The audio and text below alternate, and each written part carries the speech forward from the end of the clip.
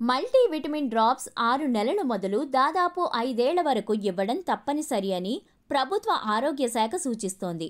ఆరు నెలల వరకు తల్లిపాల ద్వారా వచ్చే పోషకాలు బేబీ ఎదుగుదలకు సరిపోతాయి. కానీ ఆరు నెలల తర్వాత baby mental and physical growth కోసం ఏసీడీ విటమిన్స్ తప్పనిసరి అని తెలుస్తోంది. బేబీస్ కనుక ఫార్ములా మిల్క్ రోజుకు ఐదు వందల ఎంఎల్ వరకు తాగుతూ ఉంటే వారికి డ్రాప్స్ అవసరం లేదు. ఎందుకంటే అవి విటమిన్స్ జతపరిచి తయారవుతాయి. విటమిన్ డ్రాప్స్ ప్రభుత్వ ఆరోగ్య కేంద్రాల్లో ఉచితంగా పంపిణీ అవుతున్నాయి. ఆరు నెలల తర్వాత బేబీకి సాలిడ్ ఆహారం పెట్టినప్పటికీ కూడా మన దేశంలో అత్యధిక శాతం బేబీస్కి విటమిన్ డెఫిషియన్సీ ఉన్నట్టు తెలుస్తోంది. ఆహారం సరిగ్గా తినని బేబీస్ కోసం వైద్య సూచన మేరకు విటమిన్ సప్లిమెంట్స్ వాడుకోవచ్చు.